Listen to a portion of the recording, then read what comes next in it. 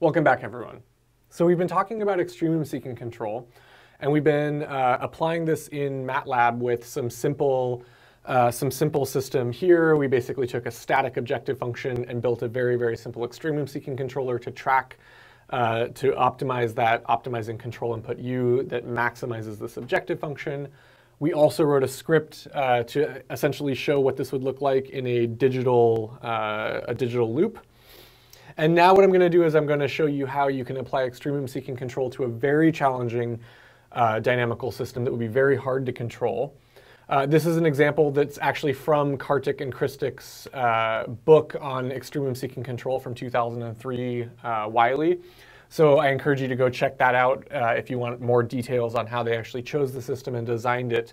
But this is basically a system that was designed to be about as nasty as possible. Okay, so you have some objective function f. Uh, basically, you know, we're going to step our objective function. There's some ramp in the, the optimizing control u star. So the, the u that optimizes the subjective function is ramping linearly. There's going to be a step, a discontinuous step in the optimum value of j. Um, and in addition to that, that static objective function where the u star is, is varying and j has the step in time, this gets multiplied by input dynamics and output dynamics. So there will be actual dynamical systems, some ODEs, some transfer functions on the inputs and outputs here and here that give this thing its own internal dynamics and timescales, making it much, much more challenging to control. In particular, uh, I think that they've given this thing a right half plane zero, which makes it very difficult to control. So that means that this will be non-minimum phase. If I ramp my U, my system actually turns in the wrong direction for a little bit before it then goes up. Uh, and so I think this, this is a very, very hard system. If you were going to even have the equations, it would be hard to design a good control law.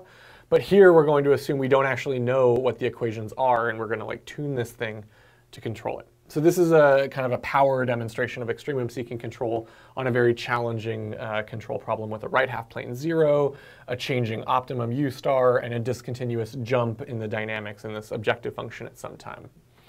Uh, but the basic architecture is the same. So here what I'm doing is I have my, my output function plus these, these dynamics.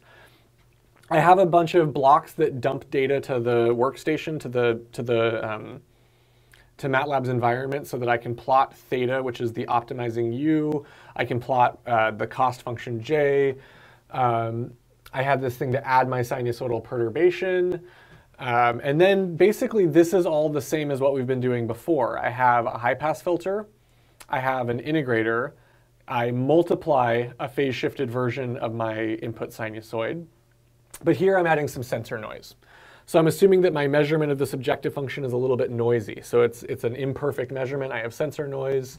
Um, and in this case, uh, Kartik and Krstić actually showed that you had to phase shift this demodulating sine wave uh, to get it to work. So this is a really hard example where you have to phase shift it.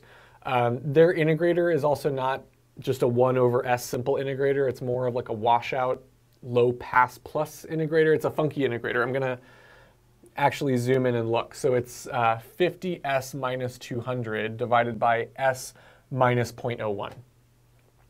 Okay, so it's not a perfect integrator, but it's got these kind of a big gain and some other some other dynamics. Okay, so long story short, you take the basic extremum seeking control loop where you high pass filter, demodulate, and integrate uh, with some sinusoidal perturbation and mostly nothing changes, but you tweak the integrator a little bit uh, and you phase shift the perturbation signal. And those allow you to kind of tune the system to control this very, very challenging uh, system.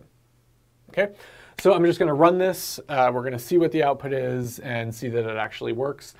Uh, this is also, um, the code for this is online. This is also in, in uh, in our book, uh, my book with Nathan Kutz on data-driven science and engineering, so you can see some of the output figures and run the code yourself.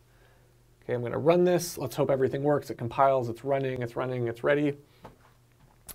And so I've dumped all of this stuff to the to the um, to the what is it called? The workspace. So now I can plot the control knob theta. So theta is my um, theta is the um, the control that, that the system is actually commanding. It should be a ramp. The optimizing control is a ramp. And we can also plot the output y when it tracks this, this step. So let's, let's just play around with this a little bit. So uh, I'm going to try, let's see, plot. Uh, let's see if I have a t variable. I'm not sure if I, there is such a t. Let's plot theta.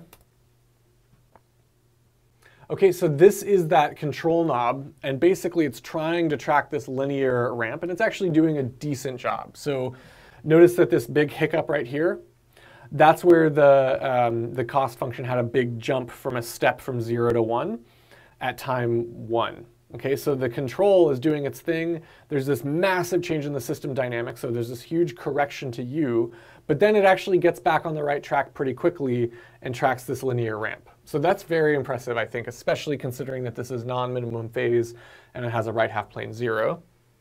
Let's also plot um, y, the output. So this is the objective function. This is also pretty cool. So the objective function, the optimal j, uh, goes from 0 to 0.05 at time 1. And you can see that even though this thing has nasty nonlinear dynamic, or sorry, not nonlinear, but non-minimum phase dynamics, sensor noise, um, all of this, this nastiness, when the system changes at time one, the controller almost immediately compensates and nails very like rock solid objective function output, even though the control is doing this crazy uh, trajectory and it's tracking this, this ramping U star. The optimizing control input is changing, it's drifting, but the output doesn't notice any of this. So, so even if I had this really nasty system, if I clipped on this special extremum seeking control law, as far as the output is concerned, when the system changes, I immediately track and maintain optimal performance, even though under the hood, the controller is just like massively compensating for these dynamics.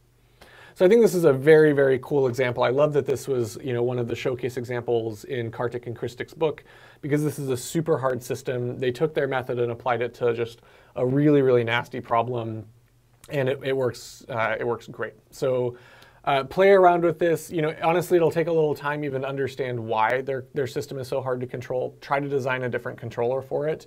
Uh, and then play around with some of the knobs. Change the, um, you know, change the filter frequency, change the integrator gain, change all of those things and see, see how this performs.